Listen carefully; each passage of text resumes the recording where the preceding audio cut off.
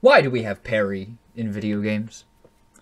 Why is, like, half of the gaming market that's coming out, at least recently, why is it all just parry games?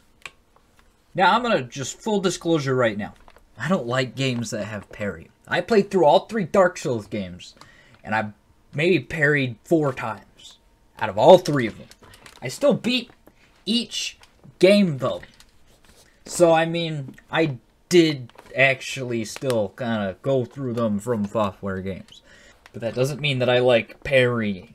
Okay, I played Elden Ring. I did. I, I I parried a few times in that game, but you know it's because that parry is actually makes sense to me. But it's games recently I just don't understand why we have to have all different kinds of parrying. Why does every game have to be about parrying now? Like we had Metroid Dread, that didn't make any sense. They were just like, what would happen if we put parrying into a platforming game? And that didn't even that didn't even I mean, it worked pretty well. But it was still really annoying. it was still really annoying. I mean, it was good in Sekiro because that's kind of what Sekiro was based on.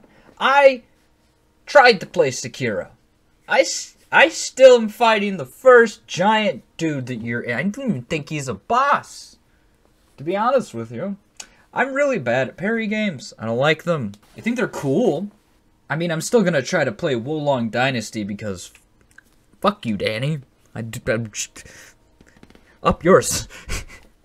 uh, I, I, I'm gonna I'm gonna definitely get past that first boss. I decided to make this video rather than play the game. Hasn't anybody noticed? They always use a little red light to pop up at the time of which you're supposedly supposed to like push the button to, to parry. But it's never when the light kicks on. You have to wait after for another animation after because they gotta swing at you. It's so annoying let me parry when it turns red. Some games are like that. Some games are not.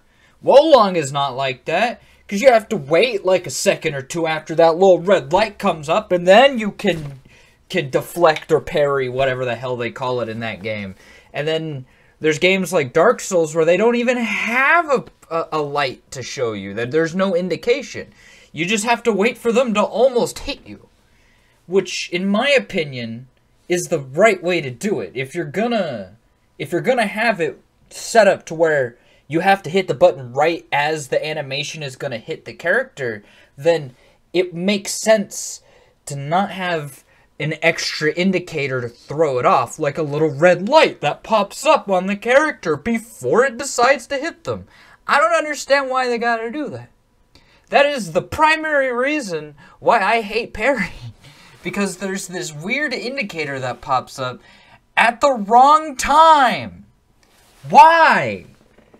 If it's gonna pop up, pop it up at the time of which I have to push the button to parry. That makes more sense. Some games do that, some don't. That's the part I hate. I be consistent. That's all I'm asking. Anyways, that's gonna be the end of this video go ahead and like, comment, subscribe, because, you know, it would give Perry the opportunity to actually have some, like, notoriety in his life. he's just kind of, like, bouncing around everywhere. He doesn't know what he's doing. And I hope, I hope they stop making Perry games. I hope that, I hope that we can at least get some new ideas, rather than just trying to copy Dark Souls. Because, let's be real, Nobody does it better than From Software.